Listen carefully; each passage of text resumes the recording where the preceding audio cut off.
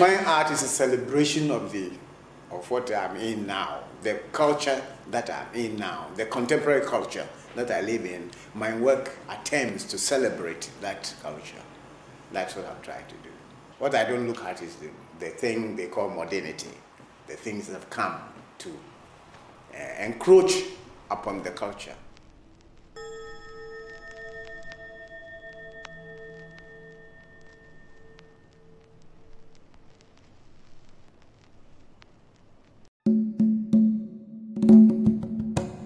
I never thought, imagined I could do a thing called painting as a profession or art as a profession. No.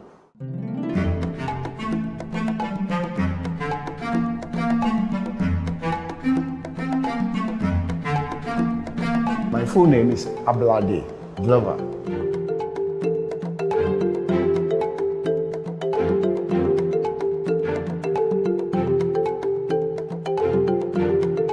Arts means here in Ghana. In other parts of the world, this is an expensive business. We're talking millions of dollars. Can you describe arts and culture in Ghana? Ghana, we live with art, so we see it all around us. It, art is life itself, like the stool we are sitting on. It's all decorated, you know, and that is the home. So art is nothing special. It's just like the flower that grow, grows around us. You don't appreciate it because it's all around us. Those out there, um, they don't see a lot of these things. Art is something you put on the wall and you must see it. You go and look and you enjoy it. You come home and there's nothing much at home. But with uh, our culture, art is part of life.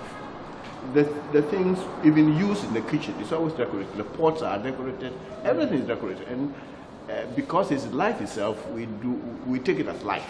We do not specially give it a special meaning to it or what. So um, the, the, the, the cultures are different, and the way we look at art is quite different.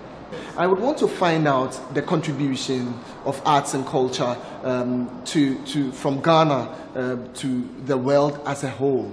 Yes, we have contributed a lot, a lot. Ghanaian artists, in fact, there are Ghanaian artists who made it out there. I don't know if you heard of Anatsui, El Anatsui, whose work is selling for a million dollar out there. Yes. Do you know, he lives in Nigeria, just across the, border. He lives in Nigeria here. But he was trained here in Ghana. He was trained at Tech. And Owusu-Ankomah, also Ankoma's work too is in the building. Owusu-Ankomah lives in Germany. These people are artists who are on the world art scene. So yes, Ghana is, is, is, is quite uh, out there, I must say. Ghana is quite out there. You, you mentioned some few people that uh, have had training here Yes. in Ghana. Yes. I would want to get a broader picture. Have we as a nation been able to nurture um, the younger ones? There has been um, lack of interest, rather in the part of on the part of the nation, and when I say the nation, the government, the powers that be, to promote art. And therefore, these artists, when they were trained, years ago, when they were trained, and when I was at Tech, we were training these people, they came out looking for jobs because there were no exposure points. I mean, if you have no place to sell your work, why work? You know, so uh, I remember myself when uh, Ambassador Hotel was there. I once hired a room to go and show my work as a, a practitioner. And at, at the end of the exhibition, what I sold, I used to pay the ambassador. You know, uh, so what's the point? Uh, so for some time, our uh, artists came out, maybe practiced a bit, they realized it's, it's a difficult terrain, and they, they, they look for jobs. Today, I can assure you, today, there are artists who are trained, uh, they, they get trained, they come out, and they go into studios.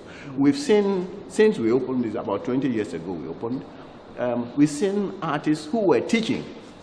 They've left their work, some were working in various areas, they've left it, and they are now practicing full time.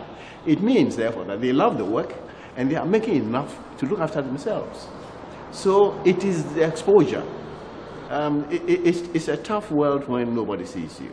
And um, the, the good thing is that this, I think, maybe I believe that that's why Nkrumah um, pioneered, ho- opened the, uh, what do you call it, the museum place. But one is too small, two, it hasn't succeeded. um, they, they have their problems, maybe financing and all that. They have their problems. Uh, now the artists have uh, places where they can get some exposure. People will see there, where people are traveling, travelers come here, that is, uh, tourists come here, uh, people who are working in this country come here. I mean, it, even the government itself, when they get visitors, they bring them here.